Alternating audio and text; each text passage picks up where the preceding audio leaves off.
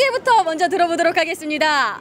안녕하세요. 하나금융그룹 예, 하나 멤버스 담당하고 있는 이일남이라고 합니다. 저희가 여기서 뭘 볼 수가 있는지 소개 좀 해주세요. 아, 네. 하나금융그룹 예, 전체 관계사가 어, 함께 만든 국내 금융권 최초의 멤버십 서비스인 하나 멤버스를 홍보하고 있고요. 예, 그리고 특히나 이제 금융은 딱딱하다라는 그런 이미지를 좀 네. 탈피하기 위해서 네. 게임처럼 즐겁게 어, 쿠폰을 잡아서 실생활에서 사용할 수 있는 하나머니 GO라는 서비스를 홍보하고 있습니다.